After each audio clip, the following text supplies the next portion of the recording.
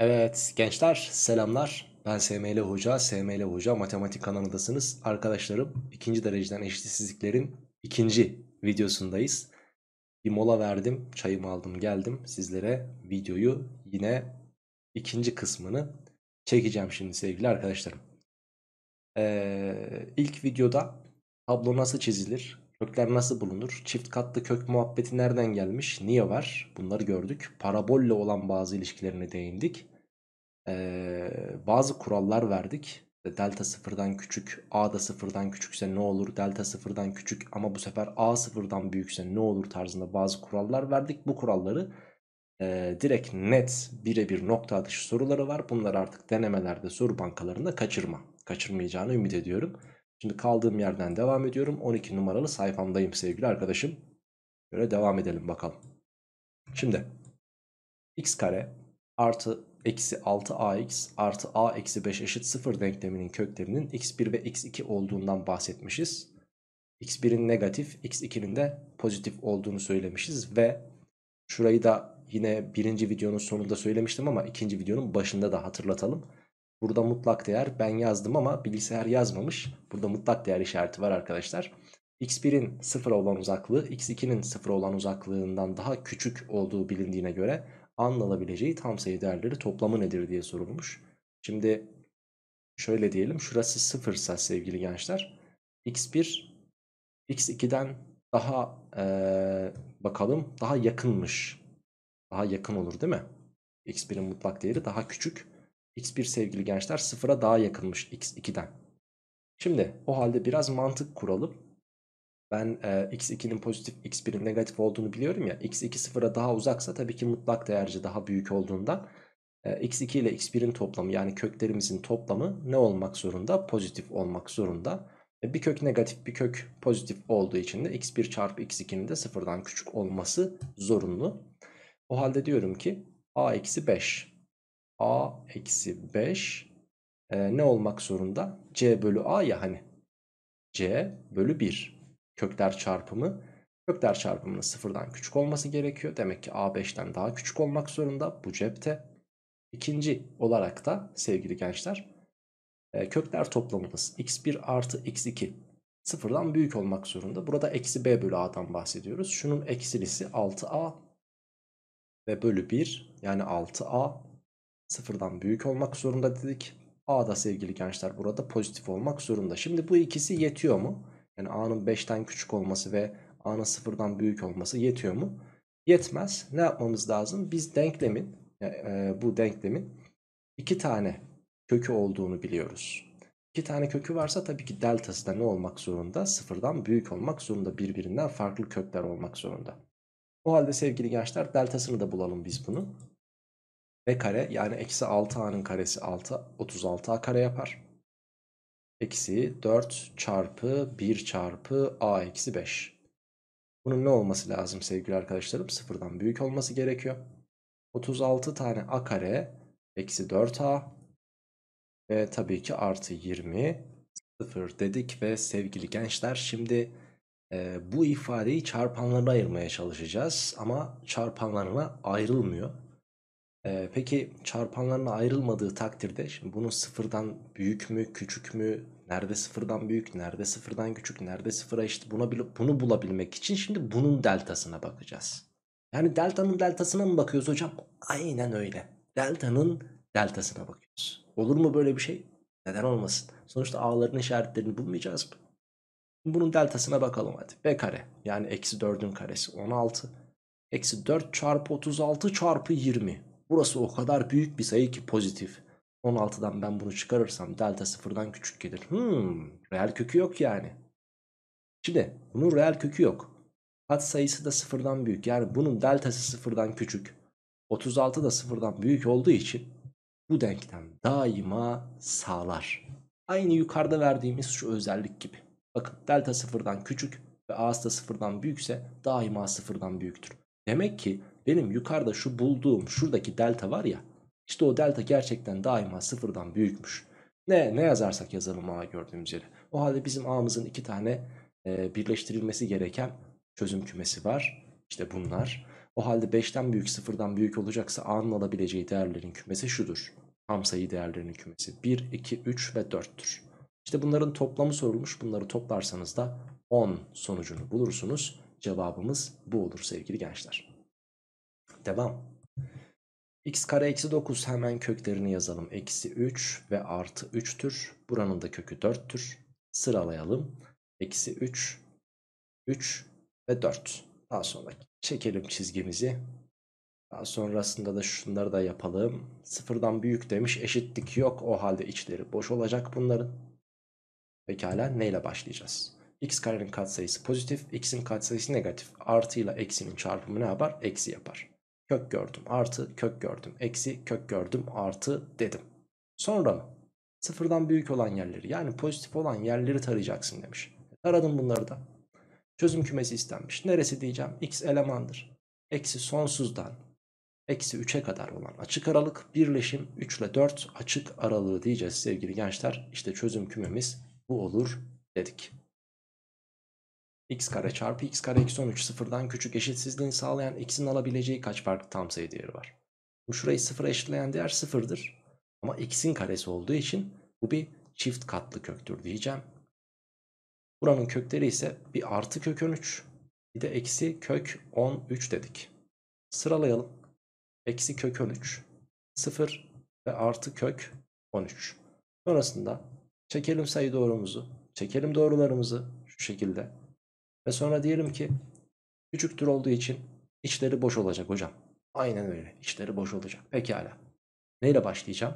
x karenin katsayısı pozitif, x karenin katsayısı pozitif. Pozitifle pozitifin çarpımı pozitif olduğu için pozitifle başlıyorum. Pozitif kök gördüm eksi.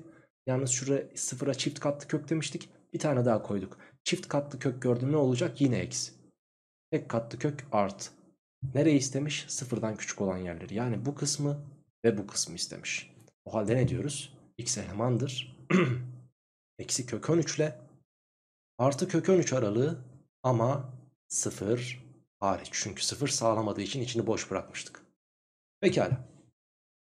Kaç farklı tam sayı değeri vardır diye sorulmuş. Şimdi kök 13 dediğimiz sayı 3 ile 4 arasındadır değil mi? Neden? Şöyle gösterirsiniz. Kök 16 ile kök 9 arasındadır çünkü kendisi. Yani 3 ile 4 aralığındadır. O halde sevgili gençler bu sayımız 3 küsurat bir sayı. E burası da eksi 3 küsurat bir sayı o zaman. Burada hangi tam sayılar var? Eksi 3 var. Eksi 2 var. Eksi 1 var, 0 var, 1 var, 2 var ve 3 var. Başka yok. Fakat sıfırın sağlamadığını unutmayın. Sıfırı eledik. Kaç farklı tam sayı değeri varmış? 3 burada, 3 de burada. Toplam 6 tane tam sayı değeri varmış diyeceğiz sevgili arkadaşlarım. Evet geçtim sevgili gençler sağ üst tarafa sağ üst tarafta bir örneğim daha var. Şimdi ilk defa biz bu videolarda soru çözerken rasyonel bir fonksiyon verdi bize şu an. Rasyonel fonksiyonlarda eşitsizlik çözerken ne yapmamız gerekiyor? Buna bir el atalım şimdi tamam mı? Hemen ne diyeceksiniz? Şunu diyeceksiniz bakın. 1 bölü 2 eksi x 3 bölü 2 artı x. İçler dışlar çarpımı yapacağız değil mi? Öyle bir şey yapmayacağız. Ne yapacağız biliyor musun? Yani içler dışlar çarpımı yapma eşitsizliklerde onu söylemeye çalışıyorum. Hemen şunu yapabilirsin. Kardeşim bunu ters çevir. 2 eksi x bölü 1. Bunu da ters çevir. Küçüktür. Bunu da ters çevir. 2 artı x bölü 3. Güzel. Şimdi çöz. Buyur bakalım. Hemen paydalarını eşitleyebilirsiniz 3 ile. 6 eksi 3x küçüktür. 2 artı x dediniz. 3'leri görmezden gelebilirsiniz artık. Çünkü zaten pozitif. Eksi 3x'i bu tarafa attınız. 4x. 4x hop 4'ten büyükmüş. Demek ki x kaçtan büyük olacak? 1'den. Bu cepte. X 1'den büyük ama aması var. X elemandır. 1 ile sonsuz aralığı derseniz sonucu yanlış bulursunuz. Daha eder. Niye? Yani doğru çözmedik mi? E, doğru çözdük. Eksik çözdük aslında. 1 ile sonsuz aralığından ben 2'yi çıkarmam gerekiyor. Niye 2'yi çıkardım? Çünkü bakın arkadaşlar sorunun orijinalinde Buraya 2'yi yazarsan tanımsız olur. E hocam eksi 2'yi niye çıkarmadık? Eksi 2 de burayı tanımsız yapıyor sonuçta. Doğru mu? Doğru. Fakat 1 ile sonsuz aralığında zaten eksi 2 yok. Güzel kardeşim sadece 2 var. O zaman ben sadece 2'yi çıkarırım. Anlaştık. Devam bir diğer örnekle. X kare eksi 3x eksi 10 çarpı x eksi 5 bölü x eksi 4 küpü küçüktür 0. Şimdi şuranın kökü 4. Burası 3 olduğu için bu tek katlı bir kök. O yüzden çift katlı falan diye belirtmeme gerek yok. Bu cepte. Şuraya bakalım. Ben burayı x'e x, burayı da eksi 5'e artı 2 diye açarsam eğer. Köklerim eksi 2 ve 5 olur. Bir tane köküm eksi 2, diğer köküm de 5. Buranın da kökü 5. Ha, şimdi sıralayalım. Eksi 2 var, 4 var, bir de 5 var. İşte, e, içlerinizden bazıları şunu söylüyor olabilir. Hoca atladı gidiyor bakalım yanlış çözecek diyor olabilir ama ben her şeyin farkındayım merak etmeyin. Bakın 5 buranın da kökü buranın da kökü. Yani bunun içinde de bir x eksi 5 çarpanı var gördünüz mü? x eksi 5 kere x eksi 5 ne yapar? x eksi 5'in karesi yapar. O halde buradaki x eşittir 5 bizim için buradaki 2'den de kaynaklı çift katlı bir köktür. Dolayısıyla burayı ve burayı içi boş bıraktım. Şimdi 5'in içini boş bıraktık. Buradaki eksi 2'nin de içini boş bırakacağım. Niye? Sıfırdan küçük dediği için. Buradaki 4'ün içini boş bırakacağım ama sıfırdan küçük dediği için falan değil. Neden kaynaklı biliyor musun? Paydayı sıfır yapan değeri ben kök olarak zaten kabul edemem kardeşim. O yüzden boş bıraktım. Şimdi gelelim işaretine. Gelelim işaretine. x karenin katsayısı artı. x'in katsayısı artı. x'in katsayısı artı. Artı çarpı artı artı. Artıya bölersem gene artı. Demek ki burası artı. Çift katlı kök eksi. Tek katlı kök artı. Tek katlı kök eksi. Nereyi istemiş? Sıfırdan küçük olan yerleri. O halde benim çözüm kümem bir şurasıdır diyeceğim. Bir de burasıdır diyeceğim. Tamam. O halde çözüm kümesini yazar, yazacak olursak x elemandır. Eksi sonsuzdan eksi 2'ye kadar olan açık aralık birleşim 4'ten de 5'e kadar olan açık aralık diyeceğiz sevgili gençler. 4'ü zaten kök olarak kabul etmedik. Gördüğün gibi burada açık açık uçlu. Dolayısıyla 4 zaten yok. Herhangi bir şeyle çıkarmamıza gerek yok. O halde bizim çözüm kümemiz budur deriz. Şimdi bir diğer sorumuz. Bu soruyu dikkatli bir şekilde dinlemeni tavsiye ediyorum sana. A negatif, B negatif, C pozitif olmak üzere. ax eksi 1 çarpı cx eksi 1 bölü x eksi b'nin karesi sıfırdan küçük bu eşitsizliğin çözüm kümesi sorulmuş. Şimdi şuranın kökünü bulacak olursanız x eşittir 1 bölü a gelir. Buranın kökü x eşittir 1 bölü c gelir. Şuranın da kökü x eşittir b gelecektir. Şimdi güzel kardeşlerim 1 bölü a. a negatif olduğu için bu da negatiftir. 1 bölü c. c pozitif olduğu için bu da pozitiftir. Ve b sayımız var. b'nin zaten negatif olduğunu biliyoruz. Alttaki kökümüz de negatif.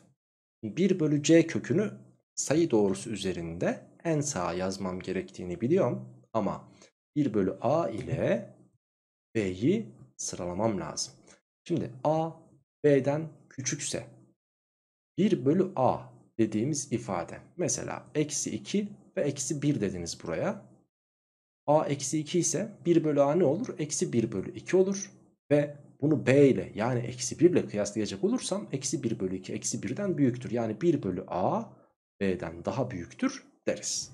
O halde 1 bölü a'yı buraya b'yi de buraya yazmakta fayda var. Köklerimiz bunlardı. 1 bölü a'ydı, 1 bölü c'ydi ve b'ydi. O yüzden bunları yazdım. Şimdi bunları şöyle işaretlerini belirteceğiz. Ondan önce sıfırdan küçük dediği için bunların alayının içi boş. Ama buradaki b'nin içerisinin boş olmasının sebebi paydada olması aklında bulunsun. Peki işaretler.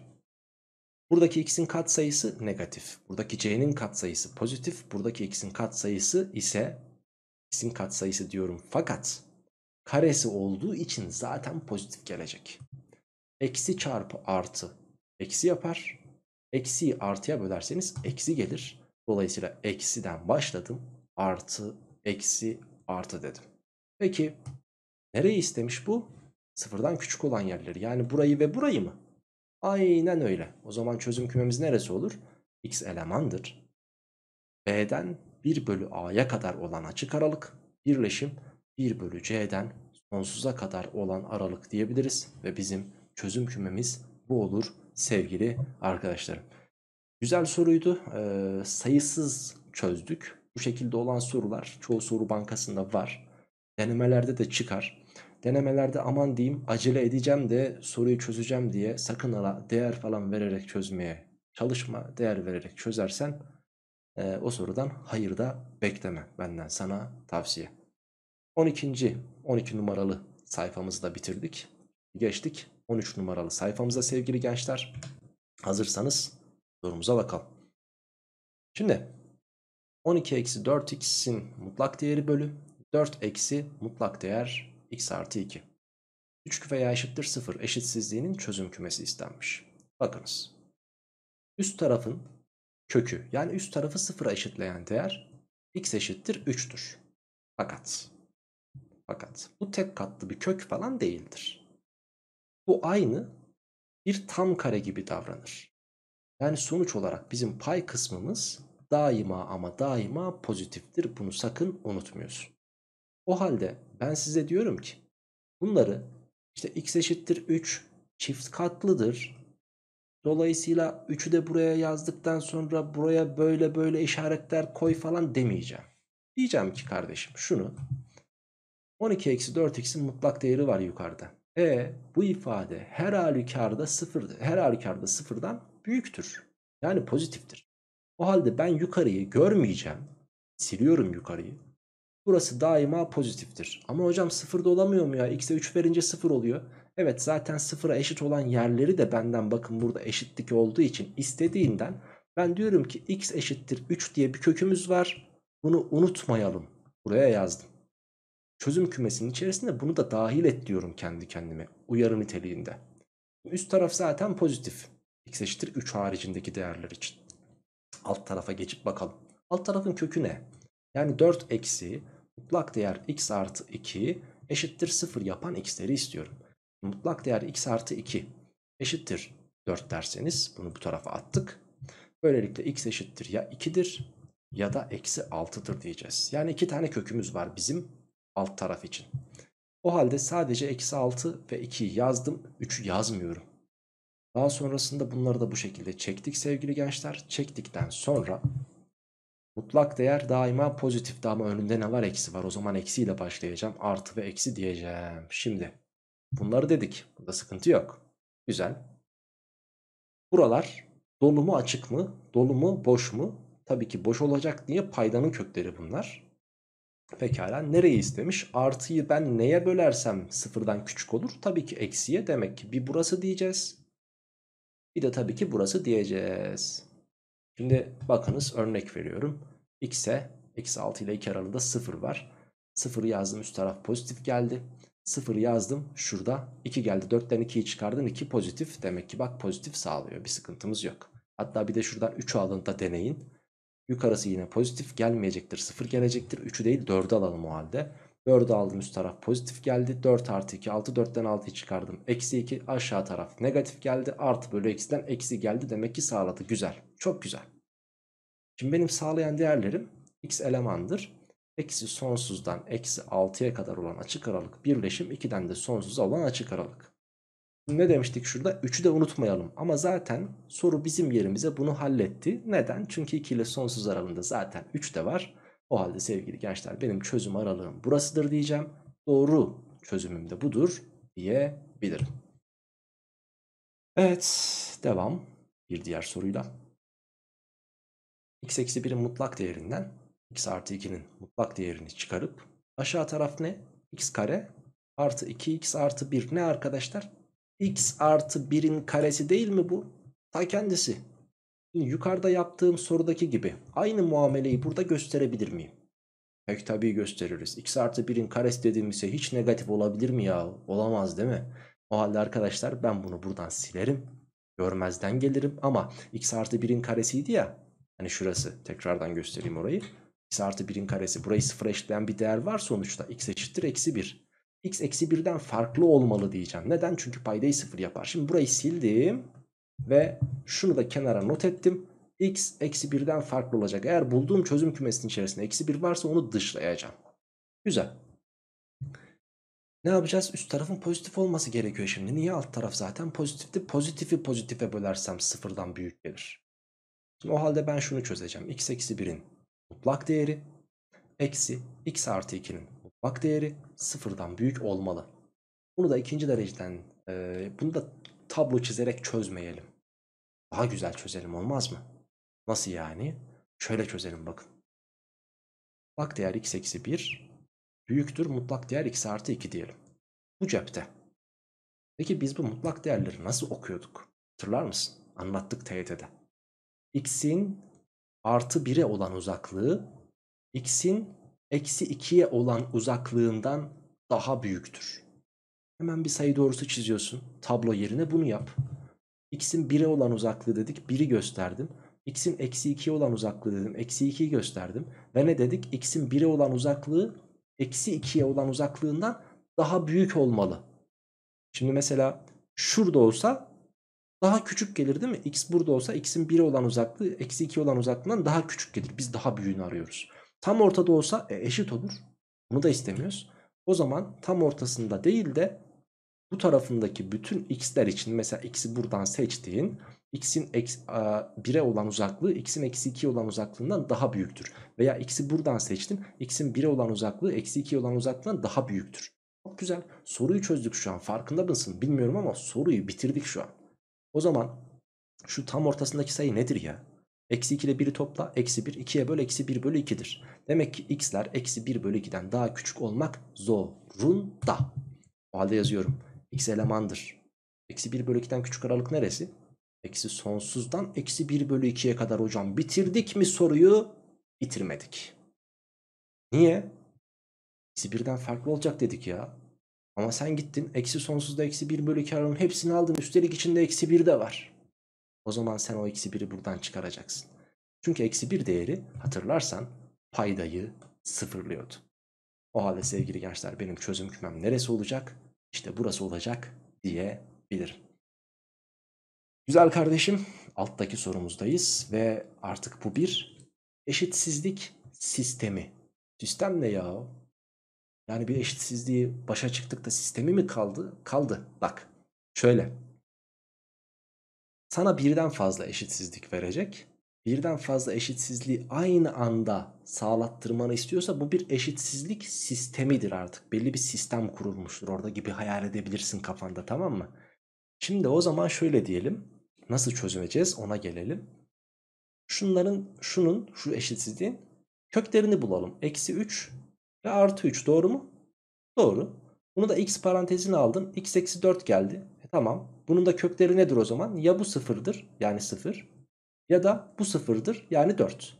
Benim kaç tane köküm gelmiş oldu bak burada. Bir eksi 3 var, bir artı 3 var, bir sıfır var, bir 4 var. Ama unutma şunlar bunun kökleri. Bunlar da bunun kökleri. Ben buna 1 nolu eşitsizlik diyeceğim. Buna 2 nolu eşitsizlik diyeceğim. Kısa olsun diye. Ne işe yarayacak şimdi göstereceğim ben sana bak. Sıralıyorsun hepsini aynı anda. Eksi 3'ü koydum. Sonra 0 gelir. Sonra 3 gelir. Sonra 4 gelir değil mi? Sonra böyle çektin.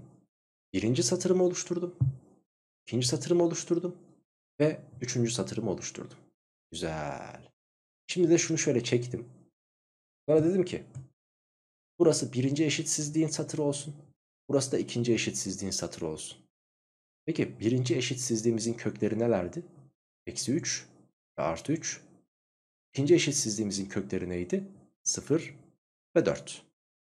Şimdi normal eşitsizlik çözer gibi şu an sadece birinci satıra bakıyorsunuz. Sadece ama sadece birinci satıra bakıyorsunuz.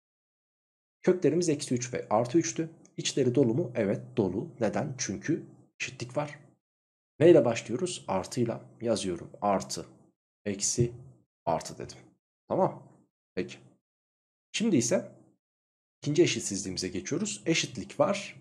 0 ve 4 köklerimizde. Bunların da içleri o halde dolu olacak diyorum. İşaret artıyla başlıyor. Artı, eksi ve artı dedim buraya da. Peki güzel kardeşim. Şimdi ne yapacağız? Şimdi şunu. İkisinin de sıfırdan küçük olduğu yerler lazım bize. Yani birinci satırda burası. ikinci satırda da burası. Anlaştık.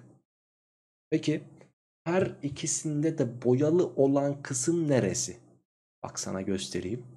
Her ikisinde de sınırdan sınıra. Neresi olur? Burası mı olur? Aynen öyle. O halde kardeşim ben diyeceğim ki bizim çözüm kümemiz x elemandır. x elemandır. Sıfırdan kapalı bak sıfırdan kapalı nereye kadar? 3'e kadar e 3'ten de kapalı. O zaman bizim cevabımız budur diyebiliriz. Kaç farklı x tam sayı değeri vardır burada? 0 var, 1 var, 2 var, 3 var. O zaman cevap nedir? 4 tane birbirinden farklı x tam sayı değeri vardır deriz cevabımıza. Evet denklem sistemini de bu şekilde çözeceğiz. Birazdan bir farklı yöntemini daha gösteririz. Yani tablo çizim yöntemi olarak farklı yöntemden bahsediyorum. Bir de o şekilde gösteririz. O şekilde anlarsın. Daha iyi olur senin için. Bir de bu örneğimize bakalım arkadaşım. x artı 3'ün x eksi 5'in mutlak değerine oranı sıfırdan büyük veya eşit olsun istiyor. İkinci olarak da x kare ile 2 üzeri x artı 3'ün çarpımının x artı 1'e oranının sıfırdan küçük olmasını istiyor. Ne yapmamız gerek? Şimdi bak. Burası daima pozitif mi x eksi 5'in mutlak değeri? Evet daima pozitif. Dolayısıyla ben bunu görmezden gelirim. Ama x 5 olamaz derim. Niye x 5 olamasın? Çünkü 5 olursa payda 0 olur. Burayı sildim. 2 üzeri x. Ya bu pozitif bir sayının tüm kuvvetleri daima pozitiftir. 0 dahi olamaz. Burası pozitifse 3 ekleyince de pozitif olur. O zaman buranın kökü yok. Sildim. E x kare e, daima pozitif. Ama x eşittir 0 diye bir kökü var. Demek ki burada x 0 olamaz. Onu da unutmayalım. X 0 olursa denklem 0'a eşit olur. E burada 0'a eşit olmasın diyor. E o zaman bu da gitti.